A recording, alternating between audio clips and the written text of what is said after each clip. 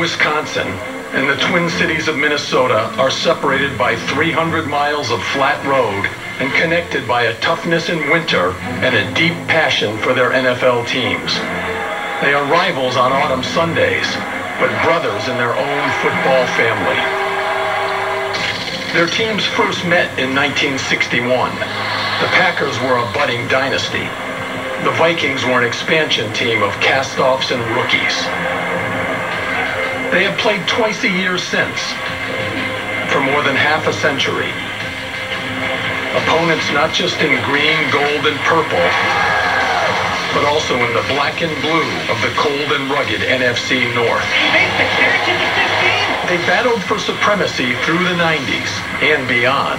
He did what?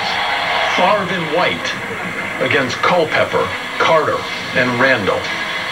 When Brett Favre and the Packers divorced, he eventually married the Vikings. Touchdown! When Aaron Rodgers went down this year, a Viking landed on top. Barr smacked Aaron Rodgers right as he threw the ball. Tonight they meet again, outdoors in the bitter cold.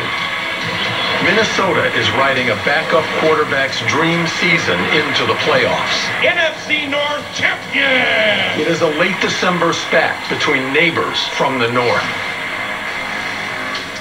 Saturday night football from a frigid Lambeau Field. Game time temperature around 9 degrees. Packers, Vikings, Minnesota in pursuit of a first round bye and maybe even a home field advantage. We welcome you back.